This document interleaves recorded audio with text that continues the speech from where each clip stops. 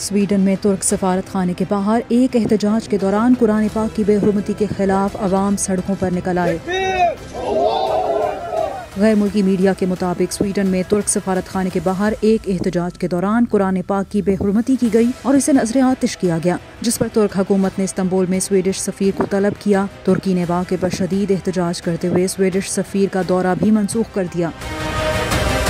पाकिस्तान ने भी मामले पर शदीद गम, गुस्से का इजहार किया। वजर अजम शहबाज शरीफ ने स्वीडन में कुरान पाक की बेहरमती के घिनौने फेल की, पुरजोर मजम्मत की। इसे नाकाबिल कबूल इकदाम करार दिया। समाजी रबते की वेबसाइट ट्विटर पर एक बयान में वज़ीर अजम शहबाज शरीफ ने कहा कि दाएँ बाजू के एक इंतहा पसंद की जानब से कुरान पाक की बेहरमती के घिनौने फेल की जितनी भी मजम्मत की जाए कम है। आज़ादी इजहार के लिबादे को दुनिया भर के डेढ़ अरब मुसलमानों के मजहबी जज्बात को मजरूह करने के लिए इस्तेमाल नहीं किया जा सकता। सबक वजी अजम इमरान खान और वजी अला पंजाब चौधरी परवेज इलाही समेत मुल्क की दीनी और सियासी जमातों ने स्वीडन में होने वाले इकदाम की शदीद अल्फाज में मजम्मत की और जिम्मेदारों के खिलाफ कार्रवाई का मुतालबा किया।